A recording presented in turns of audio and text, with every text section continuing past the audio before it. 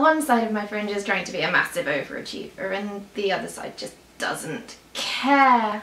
I also apologise for the lighting in this video. There is a sunshine situation outside. It's sunny and filming this yesterday would have been a much better idea. Hi, it's Fii, welcome back to my channel and today I thought I would do a little roundup of some of the beauty and skincare that I've got recently. It's a tiny baby mini haul because I haven't been super spendy in the beauty realm recently.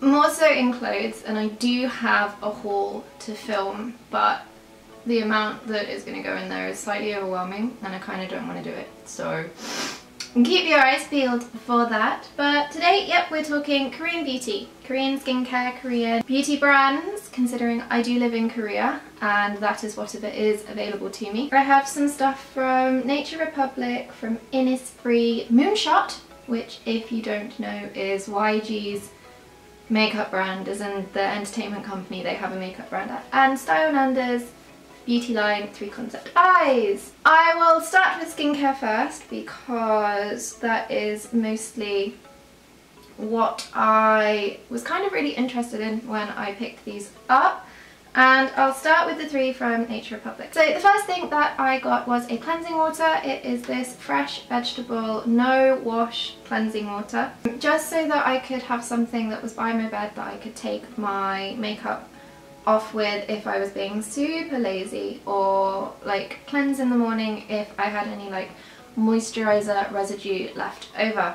It came in a box with a pack of cotton rounds which I really liked and it was massively reduced from like 12,001 to about 3,001.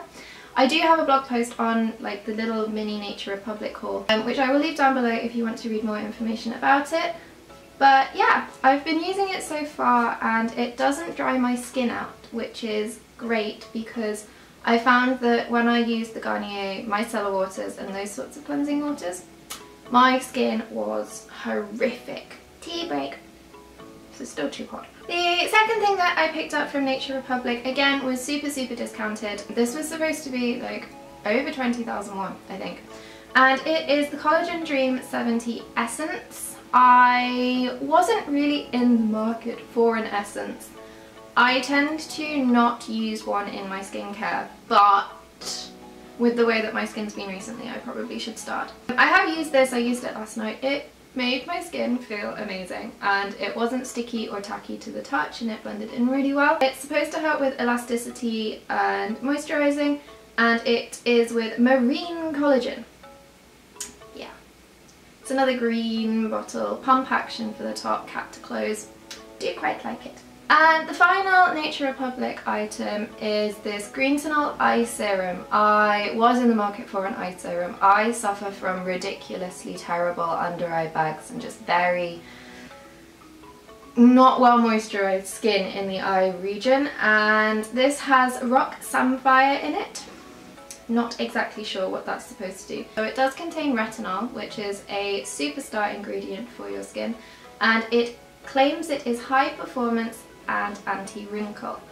I am 24, this year I turned 25, and in the realms of anti-wrinkle products, especially when you live in a city with terrible pollution problems, um, anything you can get your hands on that will help is not to be sniffed at. Next is Innisfree. I love Innisfree. Innisfree is one of my favourite stores for skincare in Korea. It's super affordable. It's a Roadshop brand.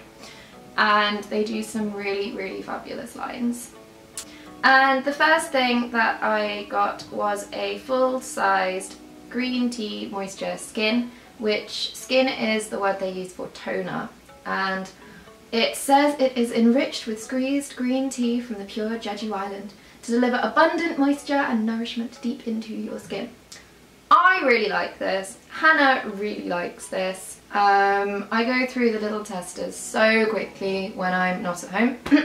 Excuse me.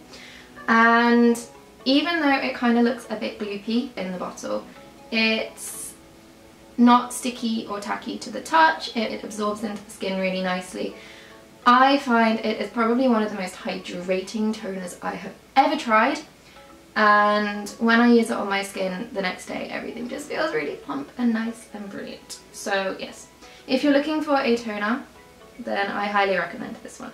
The next thing I got which was slightly more expensive but still not drastically so expensive that you want to kind of cry is the Innisfree Orchid Enriched Cream. My friend Jessica recommended this to me because I was looking for something that was super hydrating because cold, dry winters and my skin just aren't friends.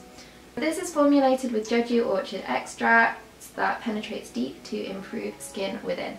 And whenever I do remember to put this on, my skin the next day does seem magically improved. Um, probably because the day before it was ridiculously dehydrated, but this is um, a really nice cream, like a moisturiser to put on. At the end of the day, let it sink in overnight, kind of like wash off any residue in the morning. Um, it goes on quite nicely underneath makeup as well if you give it enough time to like sink in before you put your primer on. So yeah, loving that. Makeup wise, I only have two, well I have two stores to share with you and both of them are kind of a little bit more pricey than your road shop brands. I'll start with the reason that I even thought that this video would be a good idea because I spent 60,000 won in Moonshot. Um, I was only intending to spend 40,000 won, but I spent 60 because if you spent 60 you got a free gift and I am a sucker for free gifts. Moonshot, as I said earlier, is the beauty brand from YG Entertainment. I'm not entirely sure how well it is performing because I know a couple of the stores have shut down, um, but the one in Myeongdong is still going strong when I went in and the draw, or at least what I wanted to get, were the eyeshadow jelly pots because they really intrigued me. I'm not a huge eyeshadow wearer as most people who know me will tell you. It terrifies me and anything that makes the application or the blending a little bit easier are things that I am totally up for. And the jelly pot idea seemed to be like something that I thought I could get on with. They have three different types. They have a matte, a pearl and a shimmer or a glitter. So the matte is, as it says, kind of like on the tin. You've got a matte shade. Um, the pearl is like a light shimmer shade and the glitter is glitter. And the shade that I absolutely fell in love with and I kept going to Hannah and Jessica when I was in the store with them going, oh it's so pretty, is M01, so it's matte number one called French Toast. All of the jelly pots retail at 20,000 won, which is expensive for an eyeshadow in Korea. Like, that's expensive. But the formula is like jelly. And the only problem that I have with them at the moment, even though I haven't even tried them other than swatched them, is that quite a bit of product collects in the little protective sealant. Um, so I haven't actually opened them fully yet because I need to get like a spatula to scrape it off the lid and put it in the pot. Um, but yeah, the swatches look quite nice. I have the shades French Toast, French Toast, I have the shades Deep Moment, which is in Pearl. Uh, the Pearl shade is P09. And I have G03, which is Starring Beam.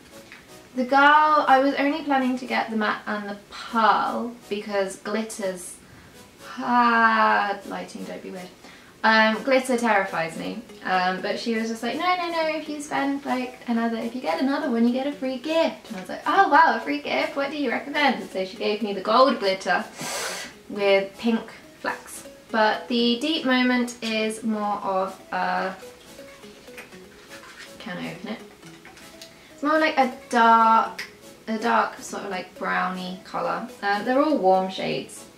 I'm not sure how I get on with warm shades, but we'll see. We'll see. It's an adventure.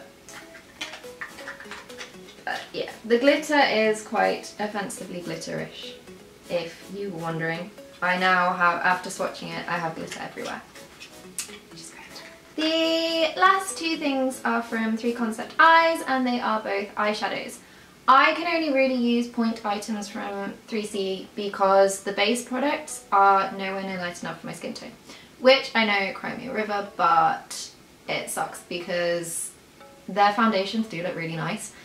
I do want to try their Velvet Pore Primer, which is on my list, but the two things that I have picked up recently from there are two eyeshadows. I have a matte, or they're both matte. They are the one colour the one colour shadows so that I can, you know, create an eye look and I have them in Red and English Rose. English Rose I wasn't intending to buy but I actually love using it. I've used it far more than I have um, Red because it's this really pale kind of like mauvey taupey colour and it's very subtle.